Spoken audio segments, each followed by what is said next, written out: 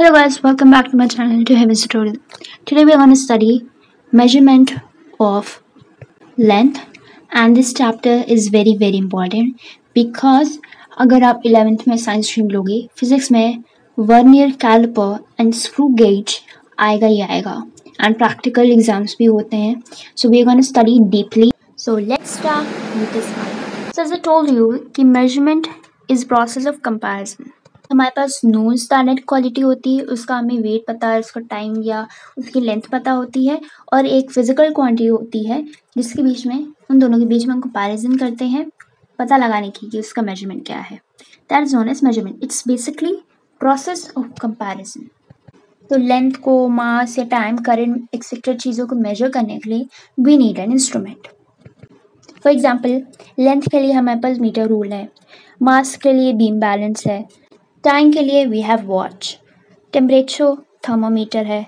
कभी physical quantity requires an instrument for example कि हमारे पास एक पाँच, चार रुपये वाला जो स्केल आता है, पंद्रह सेंटीमीटर वाला, उसमें रेटिंग्स दी होती हैं. डिविजन्स होते हैं. One two three four fifteen तक.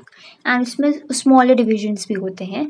छोटे छोटे तो हर एक इंस्ट्रूमेंट में एक सबसे स्मॉलेस्ट यूनिट होती है, जिसको हम एक्यूरेटली ले सकते हैं। ठीक है? सो so, उस चीज़ को हम लीस्ट काउंट कहते हैं।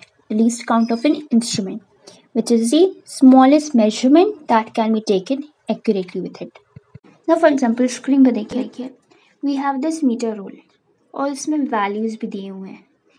पहले तो सेंटीमीटर्स हैं zero one two three and we have smaller divisions as well so that smaller division is the least count of an instrument. Therefore, the least count of this meter rule that is the value of its one division which is one tenth of a centimeter or we could say one millimeter.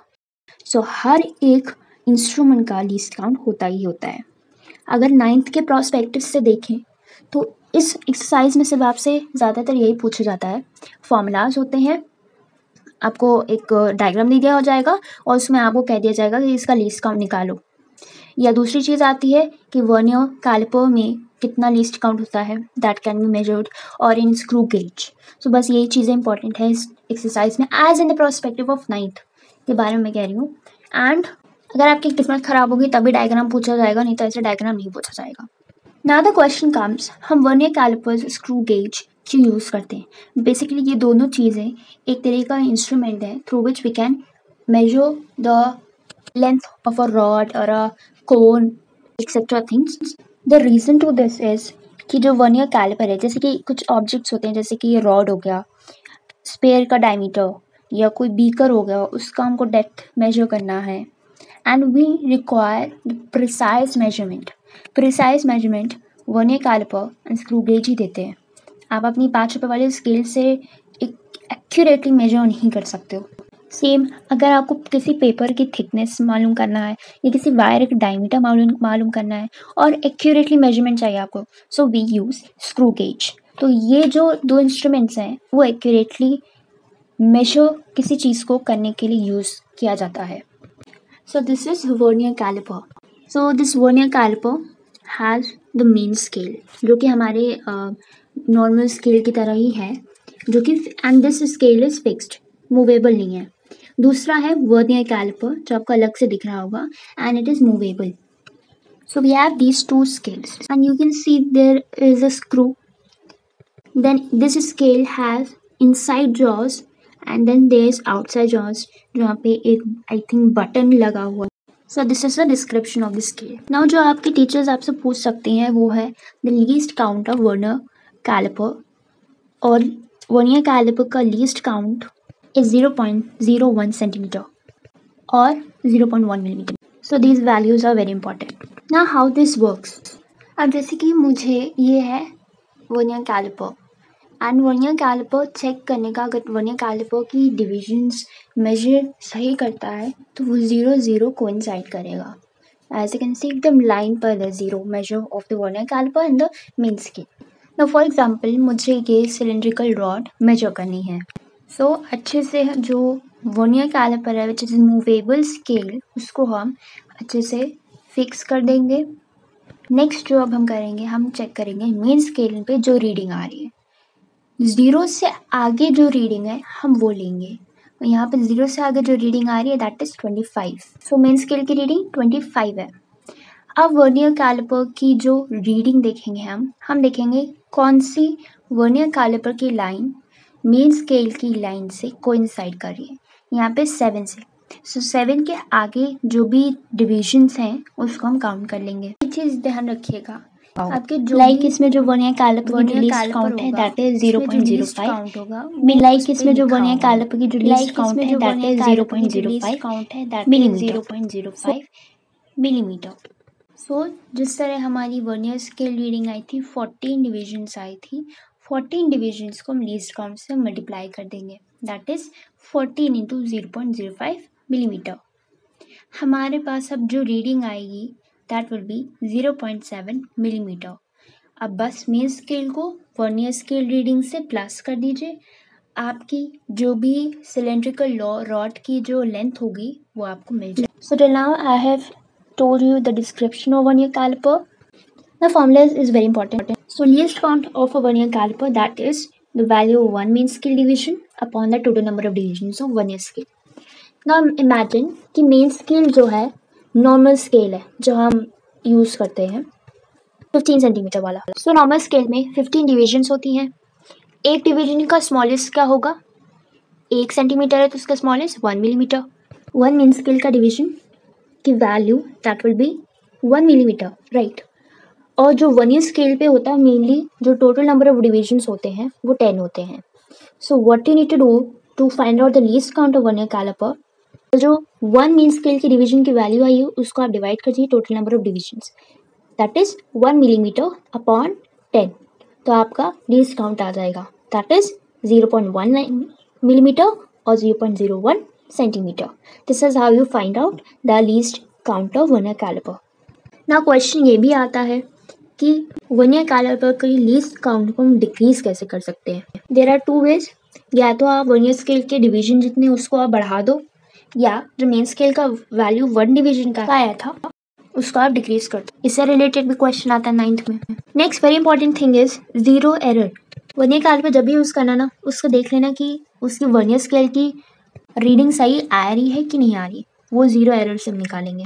दो तरीके zero error हैं zero error का मतलब होता है, जब आप किसी चीज़ को मेजर करने जा रहे हैं वन ईयर कैलिपर से, ये देख लेना कि ज़ीरो एरर हो रहा है या नहीं।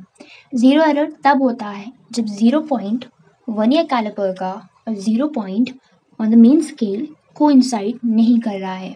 अगर को कर रहा है लाइक like हियर तब ज़ीरो एरर नहीं हो रहा है। और अगर को नहीं कर रहा है, तब ज़ीरो एरर हो रहा है। This is just to check कि एक्यूरेट मेज़रमेंट देगा कि नहीं। So as I told you कि there are kind of zero error two kind positive and negative positive zero error तब होगा जब zero point vernier scale में right right side होगा मेन स्केल के पॉइंट ज़ीरो पॉइंट पे।